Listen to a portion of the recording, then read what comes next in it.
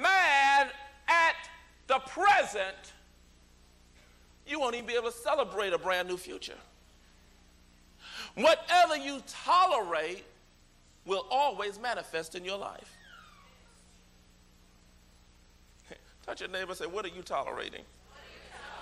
Touch somebody else and say, What have you been putting up with? See, whatever you tolerate, see, you are the only one that gave permission to whatever is existing in your life right now. Amen. You're the one that gave permission to that thing. Amen. Whatever people are existing in your life right now, you gave permission for them to remain in your life.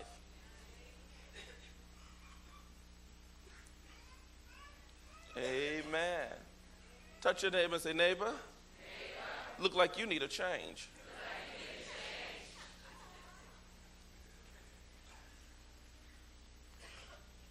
Now we're still dealing with the power of money.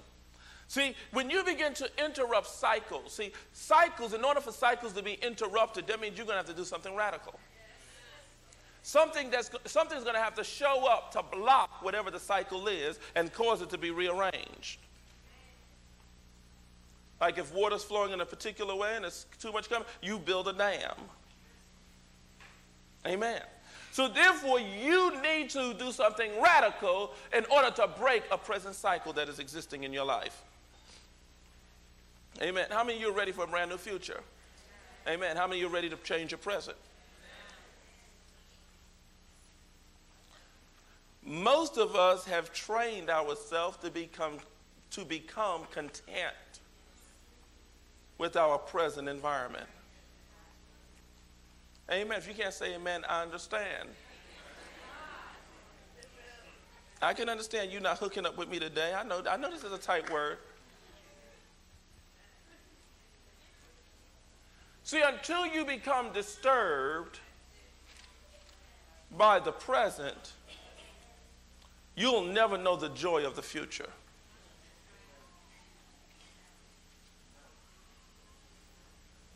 Amen. Let's move on. Money exposes your what? Well, let's look at this in Luke 16 since we're talking about money. Money exposes your character.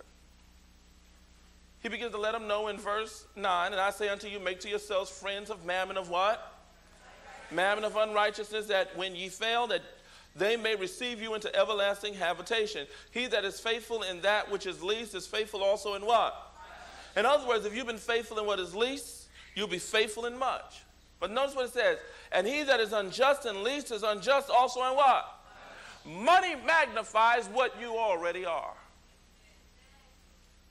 Whatever I am, money magnifies that and increases it. If I'm a faithful servant, then it will begin to magnify my faithfulness. If I'm a fool, it will begin to magnify my foolishness.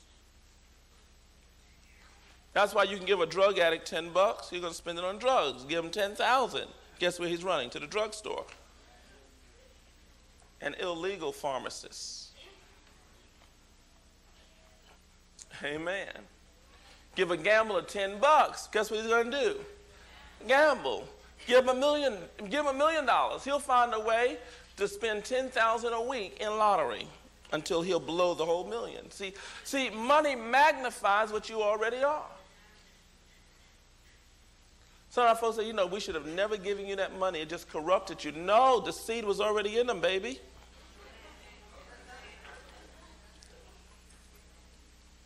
Though we know it is the will of God to prosper believers, some of you, we pray that God don't prosper you immediately. We could not stand you magnified.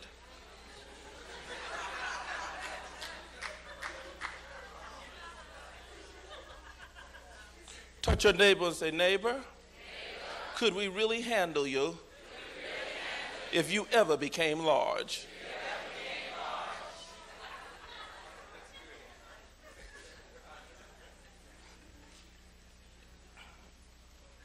Amen.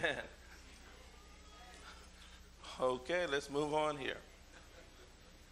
So, principle 23 here out of the planner, and we're still on page 20, says, Money exposes your what? So right next to that, just put there, money magnifies what you already are. If you don't already have that down, money magnifies. See, it's important for you to understand these principles because now you got to discern what's keeping you from coming into wealth. What is actually keeping you from coming into wealth? Why is it that the enemy works overtime to keep you ignorant? Amen. Why you keep making dumb mistakes and walking with wrong, wrong people? Do you not know that you can have one distraction in your life that will eliminate and cancel your Boaz? And your Boaz is a man of strength, someone that is sent to you to be your supply. Don't let just anyone walk with you. Someone that is walking with you may be sent of the enemy to eclipse your blessing.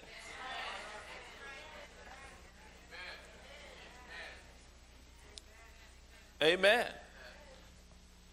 I've gone certain places and I was getting ready to take certain individuals. The Holy Spirit said, No, don't take them. I'll say, I'll say why, Lord? He said they'll change the whole focus of the mood. Amen. Um, some individuals, he says, don't take them because they just simply talk too much. They don't know how to keep their mouth closed. Amen. Never take a talking person whenever you're trying to negotiate a deal.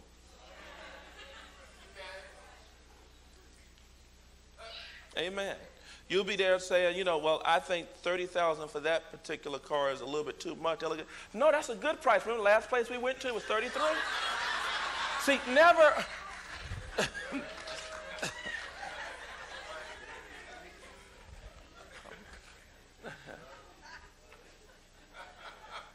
Amen.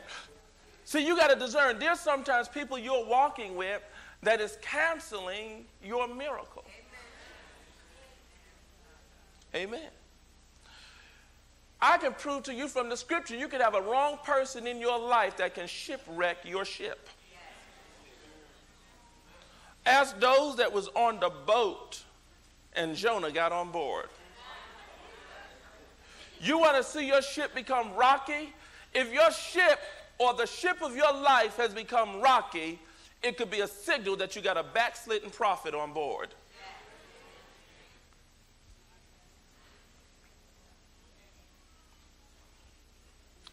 And see, many of us, we thought it was our job to save the backslidden prophet. But your job is to throw him overboard so that the fish that is assigned to him will handle him or her.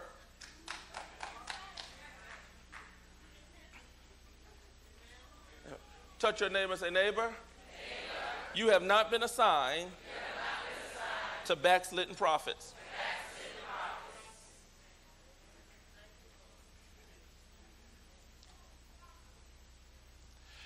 Can lay your head in the wrong lap and lose your strength.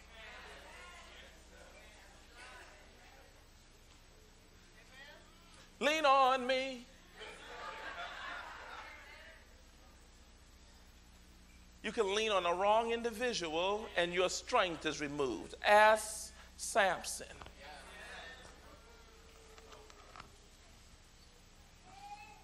Who you sleep with will determine where you are going. Ask Solomon.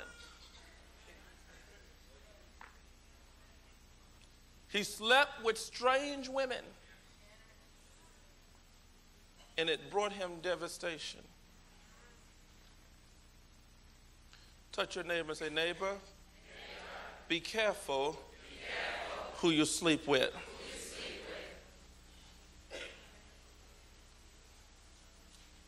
The Bible says a whorish woman will bring you to a piece of bread. You go for that piece, you won't be worth the price of a slice.